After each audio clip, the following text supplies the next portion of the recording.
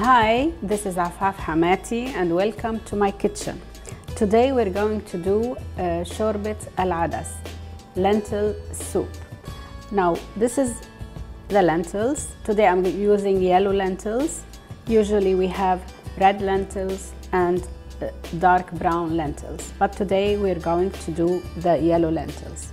My ingredients are an onion that size for about a cup of lentil, a handful of rice, some cumin, and little salt. So our onion, we have to chop it. We go coarsely chopped.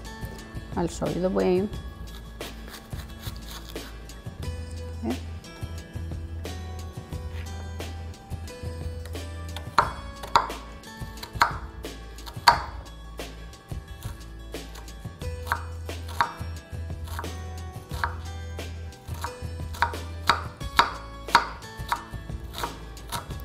Here we go.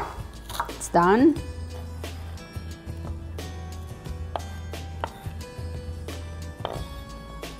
My chopped onion, one handful of rice, not washed because we need the starch from the rice to thicken the sauce of my soup. So we will uh, cook our soup in this pot.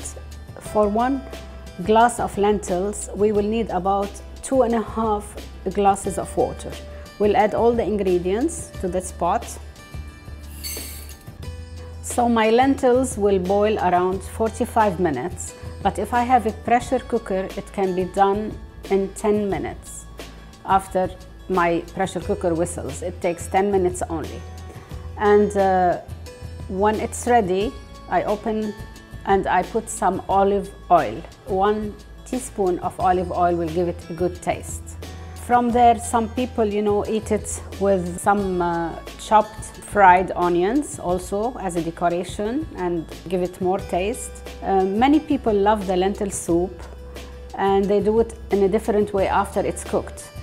Uh, some people like it, you know, mashed, so you can mash it in your food processor or you can eat it straight from the pot the way it looks. You can put as much as you like but usually three scoops are enough to fill up a person. Adding to it to give more flavor, you can put some salt if you like it's a little bit salty, more uh, uh, cumin, or you can add bread if you're not on diet. Some people like it with more olive oil, so can you, you can put a drop of oil and some people like it with lemon, so you can squeeze a lemon on it. It depends on your taste bud. Usually it changes color. From yellow, it's become a little bit dark yellow to brownish. And the red lentil comes very yellow when you cook it. The dark lentil stays the same color. So here you go, you have very healthy food and it doesn't take much time. It's full of protein. It can replaces the meat. Um, long time ago, people use it as you know main dish, so you can have it as a main dish or as an aperitif. And as this is a very healthy dish, many people break the fast of Ramadan with that lentil soup dish. So enjoy it. Thank you for being there in my kitchen.